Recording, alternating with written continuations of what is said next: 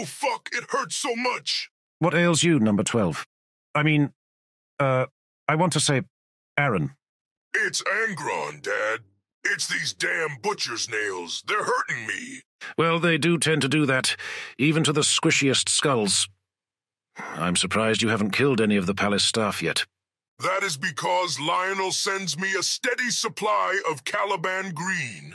But I haven't had a new delivery in a few weeks now. I don't even have the patience to unpack all of that. But how about we have some ice cream? That is what creators do with their pained creations, is it not? Do you mean fathers and their children? Let's not get too hasty now, number 12. But if that is the analogy you want to use, then by all means, use it.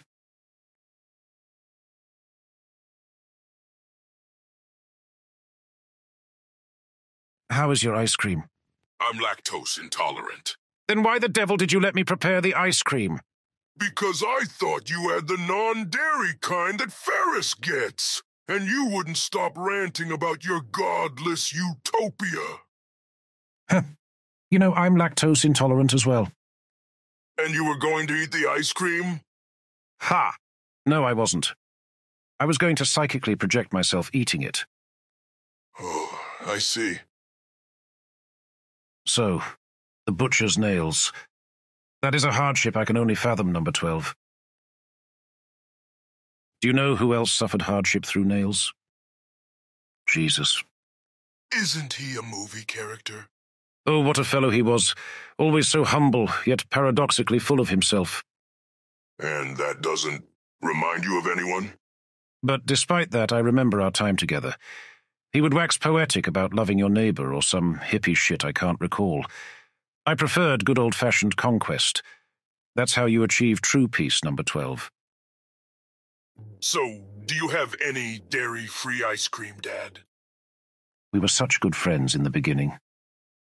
But one day, I just had it with him. I could not stomach him or his gang of cronies anymore. Especially Peter, that ball-sucking bitch. I feel like you're about to tell me something really unhinged. We were having a supper. It was going so smoothly, except the wine was shit. But Peter chose it, so fuck it, I guess. And then John got baked lamb, and I was stuck with pot roast. I fucking loathe pot roast, number 12. Well, Ferrus makes some pretty good pot roast. Shut up. Anyway, Jesus just blurts out of nowhere that this was going to be his last meal, that one of us would betray him and get him crucified. Well, I took that personally. But he didn't say you were the traitor. Ah, but I was the traitor, Aaron. You see, I had a theory about my sandal-wearing compatriot.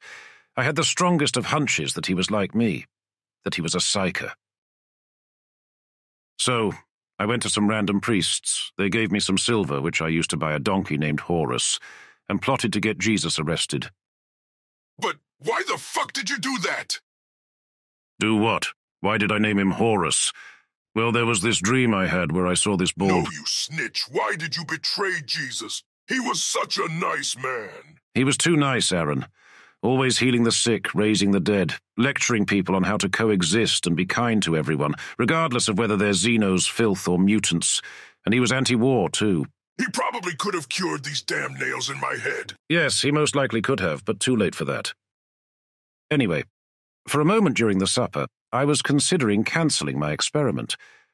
But because he had indirectly called me out, I refused to renege on the betrayal.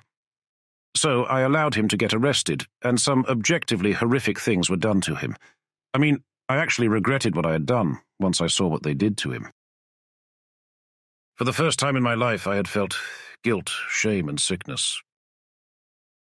But then they nailed him to a cross, which actually made me weep, which was strange because I didn't know I had tear ducts. But I was proven right. When he drew his last breath, he released a psychic wail that destroyed the city that had judged him and sentenced him to death. This is so fucking depressing. Finally, to ensure my getaway, I faked my own death by using Horus as my patsy. I changed identities and made my way to Greece. Little did I realize that Jesus' death would make him even more iconic. So, That really soured my grapes. You're such a fucking monster. Yeah, well, he got a book about him, and I got this bitchin' palace and a space empire. If I'm a monster, then I must be Godzilla. You sold him out for a theory. Yes, for a theory. A game theory. Oh, fuck you. But no, Aaron, it wasn't just that. You see, his power would only have grown more in life. He would garner more believers, which would make him better than me. I don't like competition, Aaron. I will not have it get in my way. Why are you telling me this, you petty bitch? Why, out of all of your sons, would you tell me this? Well, sheer convenience. I often think about the time I spent with that prophet of Nazareth, and it feels good to get that sin off of my chest. You just happen to be within proximity. Also, you're the only one of the Primarchs with a deteriorating brain, so it'll be easier to wipe your mind of this conversation. You bastard! Slumber number 12!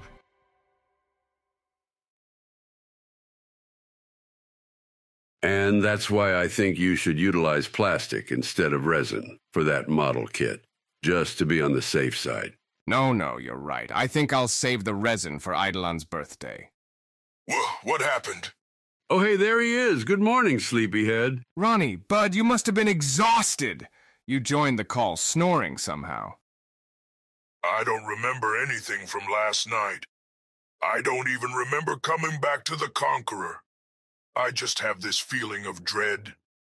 Maybe it was just a bad dream. Well, you've got us, little brother. You know we won't let the bad dreams get to you. How about we watch some Dragon Ball to cheer you up?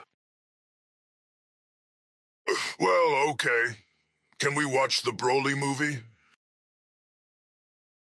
Of course we can, bud.